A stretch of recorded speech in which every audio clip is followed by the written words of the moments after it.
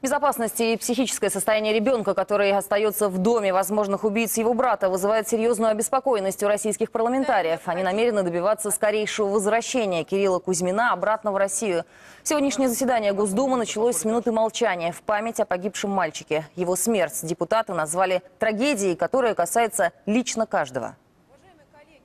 Это подтверждение худших опасений, что процесс усыновления в Соединенных Штатах Америки, к сожалению, имеет множество недостатков, которые приводят к трагическим последствиям.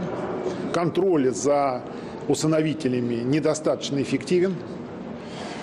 А, Меры, которые принимаются внутри штатов и в целом в Соединенных Штатах по этому поводу, к сожалению, в большей степени политизированы. Что будет с мальчиком, со вторым? Этот ребенок, второй, Кирилл, остается под опекой отца. Приемный отец американский наблюдал в течение полугода, как психотропными веществами кормят трехлетнего ребенка. Наблюдал фактически за избиением. И у него остается ребенок.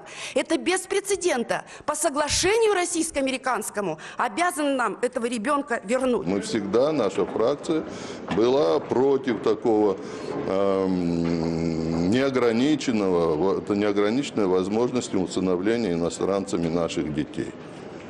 На мой взгляд, такое усыновление – это исключительный случай. И такой исключительный случай должны рассматривать где-то на государственном уровне, в государственной структуре. Не, ну, не отдавать это на откуп, скажем, каким-то посредническим фирмам, которые на этом зарабатывают деньги. Это один случай выявился.